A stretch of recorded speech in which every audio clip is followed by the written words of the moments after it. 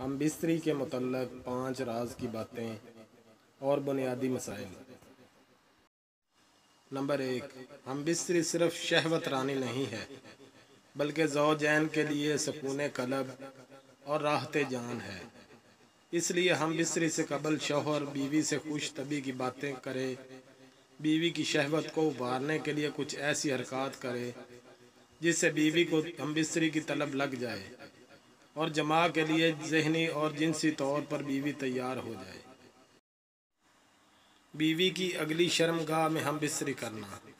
पाकी की हालत में जायज़ है, मगर नापाकी की हालत में नाजायज़ है। इसके अलावा हम बिस्तरी करने के लिए बीवी से बोसो किनार करना, जमा के लिए तैयार करने के वास्ते अज़ाय जिसम, बशमूल शर्मगाह, छूना या देखना जायज़ और हलाल है। नंबर तीन, शोहर के लिए बीवी की शर्मगाह छूने और देखने में कोई हर्ज नहीं है। लेकिन बीवी की शर्मगाह चूमना और मुँह से चूमना ओरल सेक्स करना सरासर बेहयाई और हराम है।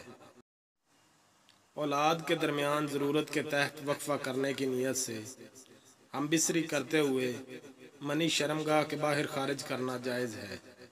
इसमें कोई गुनाह नहीं। एक ही रात में दोबारा हम बिस्तरी करने से पहले, अगर मैसर हो तो गुसल कर लिया जाए, या वज़ू कर लिया जाए, और फिर दोबारा हम बिस्तरी की जाए।